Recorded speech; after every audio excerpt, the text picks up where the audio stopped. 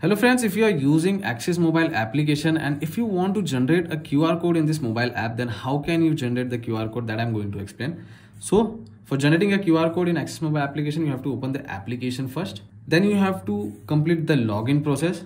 So you can simply log in by using your fingerprint or MPIN.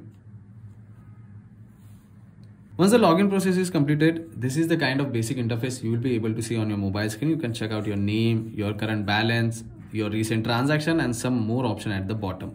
Now to generate a QR code in Axis mobile application, you do get an option of pay at the bottom. So you have to select that option first. After that, you have to select Bhim UPI option.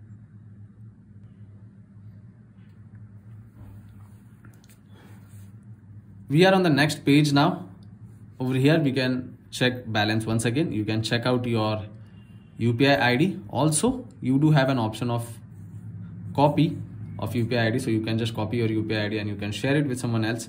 You do get some more option under send money. Now to generate a QR code, you have to click on request money. On the next page, you do get two option. One is UPI ID and contact and one is QR code. So you have to select QR code option. Now you can see there is already a QR code showing on the screen. If anyone scans this QR code, they have to enter the amount manually.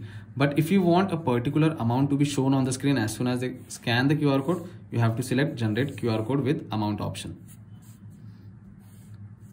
Now, just for example purpose, uh, let's enter a random number like 123 and in remark you can add for which thing this particular amount is.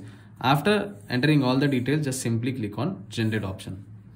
Now you can see amount is 123 and this is the particular QR code. Now any person who scans this QR code, he will directly see the amount which is 123. So let's me uh, let me show you an example of that. Now you can see I have scanned this QR code and on the screen the amount is showing automatically. Now if we proceed to pay, if you enter the UPI pin, the amount will be transferred. So guys, these are the simple steps you have to follow if you want to generate a QR code in Axis mobile application with any particular amount. That's pretty much it for today's video guys. If you like this video, hit that like button and don't forget to subscribe to my channel. I will see you all in the next one. Thank you.